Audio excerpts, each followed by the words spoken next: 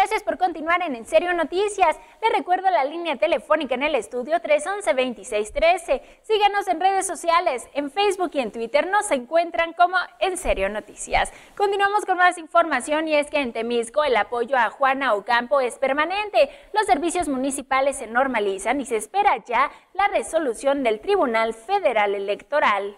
Se dio reinicio a los servicios públicos del Ayuntamiento de Temisco. Sin embargo, los simpatizantes continúan con el plantón en apoyo al proyecto social del exedil Gisela Motocampo. Así lo dio a conocer Eduardo Sánchez Solís, integrante del movimiento.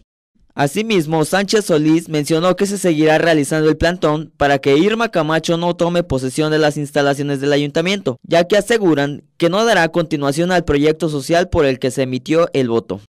Hay, hay oficinas que están abiertas como es Catastro, Registro Civil, Tránsito, Servicios Públicos, Desarrollo Social, el DIF, Sistema del Agua Potable, todos esos sistemas desde el DIF y el, y el Registro Civil desde el inicio han estado abiertos el agua potable para que se cumpla este proyecto. Y no se puede cumplir, ¿por qué? Primero ya empezó a hacer cambios la, profesora de, hacer sin tener, sin tener el ahora sí, el poder en la mano, ¿no?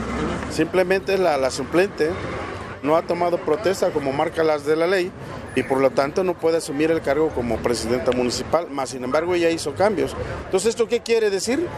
Que no va a llevar el proyecto, desde inicio se ve que no va a llevar el proyecto. Entonces, la gente está inconforme y se sigue, mira, ahí llevan con tortas, llegan con, con fruta, la gente se solidariza.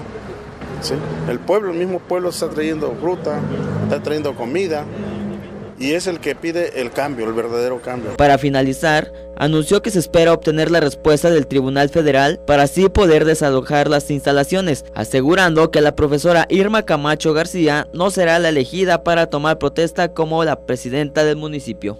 Para el Serio Noticias, Martín González.